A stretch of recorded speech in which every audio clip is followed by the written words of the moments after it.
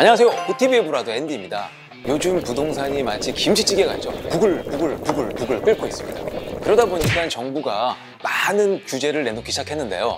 또 규제가 아파트에 집중돼 있었죠. 그러다 보니까 많은 투자가들이 새로운 투자처를 찾기 시작했습니다. 그래서 다세대나 오피스텔 같은 쪽으로 눈을 돌리고 있습니다. 그래서 바로 오늘은 다세대의 대표 주자 빌라에 대해서 알아보도록 하겠습니다. 우리가 알고 있는 빌라는 엄밀히 말해서 다세대 주택 또는 연립입니다. 바로 연립주택은 사실 다세대 주택과 동일해요. 거의 동일한데 그 크기가 다릅니다. 그래서 다세대 주택을 알면 연립을 쉽게 이해할 수가 있어요. 다세대 주택은 연면적이 660제곱미터 이하로 되어 있고요. 4층 이하이어야 합니다. 그 연립주택은 4층 이하는 똑같지만 660제곱미터 연면적을 초과하는 경우에 연립주택이라고 하고 있습니다. 빌라는 아파트의 주요 대체제이기도 하죠. 하지만 선호도는 많이 떨어집니다. 그 이유는 대한민국의 모든 커뮤니티, 삶의 커뮤니티는 아파트를 중심으로 발전해 왔어요.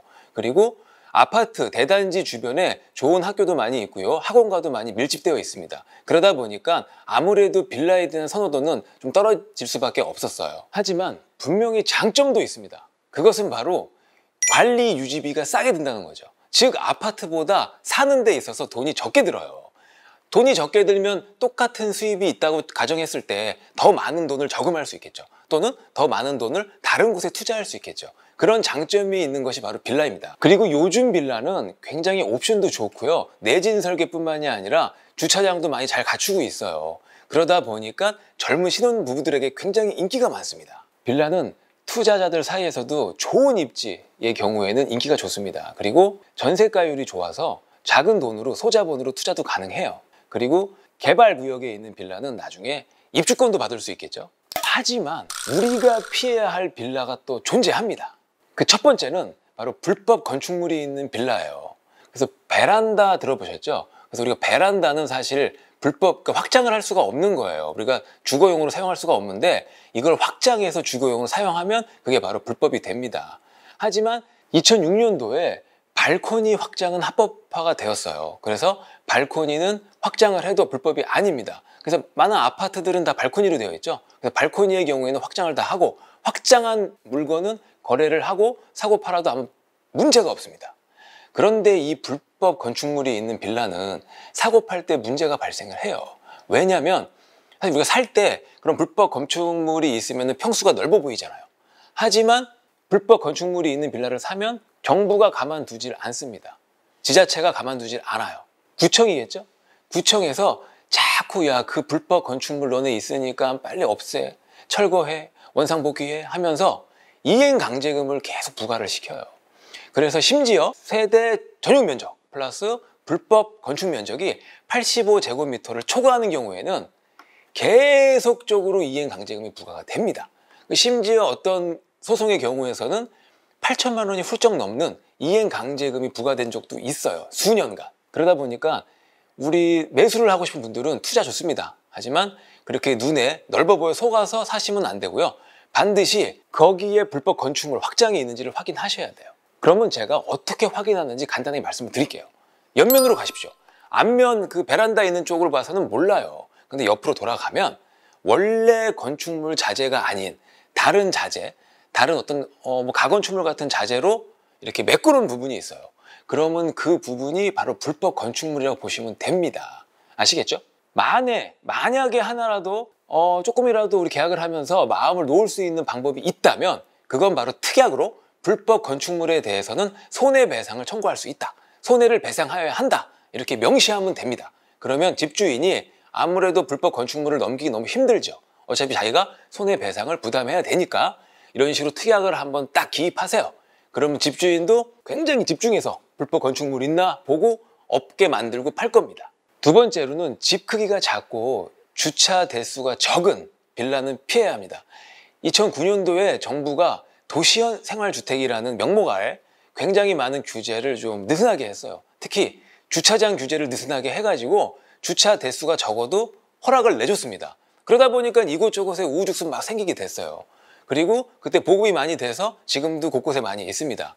그런데 이런 곳에 들어가면 일단 좁고 주차하기 어렵죠. 그리고 나중에 내가 들어간 다음에 나가려면 세입자를 새로 받아들여야 되지 않겠습니까? 그때 새로운 세입자를 받아들이기도 굉장히 어렵습니다. 그래서 이런 도시형 생활주택은 가급적이면 피하시는 게 좋습니다. 세 번째로는 연식이 오래된 빌라입니다. 사실 빌라 1세대는 어, 우리가 반지하층이 있고요. 빨간 벽돌로 지은 빌라들이 있어요. 80년대에 많이 생겨났거든요. 그리고 2세대가 드라이비트를 사용해서 또 반지하인데 지어진 빌라들이 있습니다. 그리고 3세대부터 필로티가 생기고 4세대 때 엘리베이터까지 들어옵니다. 그리고 3세대 이후부터는 아마 우리가 이 드라이비치 굉장히 불에 잘 타요. 그래서 내화성이 좋은 재질로 마감을 하기 시작했습니다. 그래서 굉장히 3세대 이후는 빌라들이 많이 좋아졌고 4세대의 엘리베이터는 완전 빌라들의 황금기가 되었는데 바로 오래된 빌라가 문제죠. 이 80년대 또 70년대 지어진 빌라들은 빨간색 벽돌로 주로 지어졌고요. 얘네들은 많이 오래돼가지고 이제 그 배관 같은 게 거의 다 썩은 상태예요. 그래서 누수도 심할 수 있고 들어가 산다고 해도 자꾸 이렇게 누수가 나고 고장이 나고 그러면 어떻게 되겠습니까? 굉장히 힘들죠. 또 난방 겨울철에 터지면 어떻게 돼요? 그 공사하고 그러면 얼마나 추운데. 그러니까 그런 것들을 좀 체크업을 미리 하시고 들어가시는 게 그나마 좋습니다. 그리고 이 빨간 벽돌의 빌라는 사실 또 하나 조심하셔야 될 게 있어요. 오래됐기 때문에 구멍구멍이 많아요, 집 안에. 그러다 보면 은 외부에서 이런 해충들이 침입이 되게 잦습니다. 제가 옛날에 제 친구 집에 갔는데 그 집에 난리가 난 거예요. 그러니까 빨간 벽돌 빌라였는데 빈대가 들어온 겁니다. 그래서 빈대 때문에 아주 그 집이 고생고생했어요. 그러니까 여러분들도 오래된 빌라를 들어가실 때에는 가급적 피하시면 좋지만 그래도 뭐 금액적으로 좋다. 그래 들어가신다. 그러면은 해충들이 있는지 여부를 좀 확인을 하십시오. 그 해충이 있으면 좀 해충을 처리하는 작업을 하시고 들어가시기를 제가 조언해 드리겠습니다. 네 번째는 우리가 입주권을 얻기 위해서 우리 재개발 지역, 재건축의 지역에 있는 빌라를 사게 되죠. 바로 그러한 빌라를 구입하실 때 조심하셔야 된다는 겁니다. 왜냐하면 6.17 대책으로 거주 요건이 생겼어요. 2년 거주 요건이. 그래서 조합원 분양 신청 전까지 2년을 거주해야만 입주권이 나옵니다. 우리가 힘들게 샀는데 2년 거주 요건을 못 채워서 나중에 입주권을 못 받고 현금 청산 대상자가 돼버리면 이거 얼마나 억울합니까 도대체?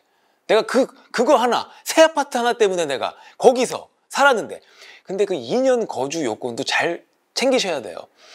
이게 하다 보면은 좀 내가 늦게 들어갔잖아요. 늦게 들어갔으면 문제는 조합원 분양 신청까지 2년이라는 시간이 안 주어지는 거예요. 빨리 그게 진행이 돼서 1년 10개월 됐는데 조합은 분양 신청이 들어가는 경우. 야 이거 억울하죠. 이거 미칩니다. 한 2개월 놔두고 내가 입주권이 날아가 버리는 거예요. 자 그렇다면은 그럼 이걸 언제부터 시행이 되느냐? 바로 2020년 12월에 시행이 됩니다. 그래서 시행 전에 조합 설립 인가를 신청하는 단지는 no problem이에요. 그런데 시행 이후에 최초 조합 설립 인가를 신청한 단지는 바로 이 규제에 적용을 받습니다 2년 거주를 반드시 해야 돼요 다섯 번째, 권리관계가 복잡한 빌라입니다. 이 권리관계가 복잡하다는 것은 빌라만의 문제는 아니에요. 모든 주택의 문제 맞습니다. 그래서 거기 뭐 저당권 설정이 막뭐 나보다 먼저 되어 있고 막 복잡해. 그리고 막 어떤 데 들어갔는데 뭐 막 거기에 뭐 그런 거 있죠. 우리가 살다가 집주인이 돈 같은 걸 잘 주질 않아가지고 보증금을 빨리 반환하지 않으면 다른 데 이사는 가야 되고 그때 뭐 임차권 등기 명령 신청 같은 거 할 수 있잖아요. 그런 거 있는 빌라는 들어가지 마세요. 복잡합니다. 굉장히 위험한 상황에 처할 수가 있어요. 법적으로. 자, 마찬가지로 우리를 현혹하는 신축 빌라. 이 신축 빌라가 근사하죠. 깨끗하죠. 아주 필로테까지 쫙 있고 막 번호 눌러 막 들어가고 CCTV 막 양쪽 저쪽에 다 있고 좋은 만큼 조심해야 될 게 있습니다. 이 빌라를 거래하실 때 이 빌라의 실소유자가 건축주고 건축주가 바로 이 토지 소유자라든지 토지 권한과 그 주택의 건물에 대한 권한을 갖고 있는지를 꼭 확인하셔야 돼요. 그리고 또한 건축주가 직접 나와서 사인하고 하지 않겠죠. 대부분 그 주변에 공인중개사 사무실이라든지 분양 사무실을 만듭니다. 그러다 보면 대리인들이 행동하는 거예요. 그럼 정말 여기 사무실에 있는 사람들이 대리권을 수여받아서 정당한 자격으로 대리를 하는지 확인을 하셔야 돼요. 그래서 우리가 쉽게 알 수 있는 방법이 있죠. 바로 위임장하고 인감증명서예요. 그래서 그런 것들을 꼭 확인하시고 거래를 하십시오. 그래야 내 집이 됩니다. 그리고 마지막으로 한 가지 더 부탁드리고 싶은 말씀이 있어요.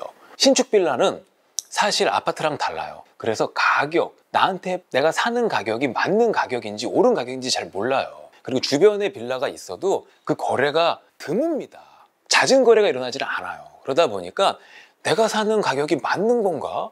내가 더 주고 사는 게 아닌가? 이런 것들을 알려면 발품을 파세요. 그리고 그 동네가 아니라 그 조금 떨어진 옆 동네에 공인중개사 사무실 한번 슬쩍 가보십시오. 가셔가지고 저쪽 빌라는 어때요? 이런 식으로 쓱 구경하는 것처럼 물어봤을 때 그 계시는 우리 사장님이 아유 저기는 얼마 안 들었는데 너무 비싸게 파는 것 같아. 저렇게 비싸게 팔아서 나가나? 이런 식으로 얘기를 하신다.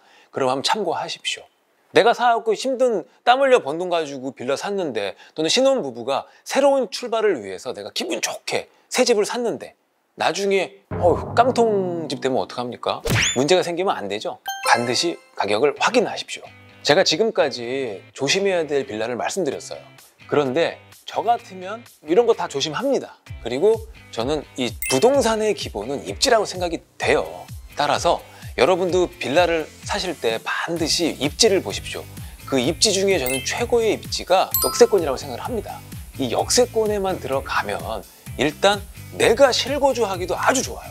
그리고 또 임차인을 받게 돼도 임차인이 금방금방 들어옵니다. 그리고 내가 매도를 하고 싶다. 그럴 때 매수자 찾기도 훨씬 쉽습니다. 역세권은 모두가 사랑하니까요. 역세권을 놓치지 마시고 조금 금액이 나가더라도 될 수 있으면 역세권을 잡으십시오. 그럼 여러분 제 영상을 보시고 성공적인 빌라 투자하시기를 바라겠습니다. 지금까지 영상 좋으셨다면 구독, 좋아요, 알림 버튼까지 부탁드리겠습니다.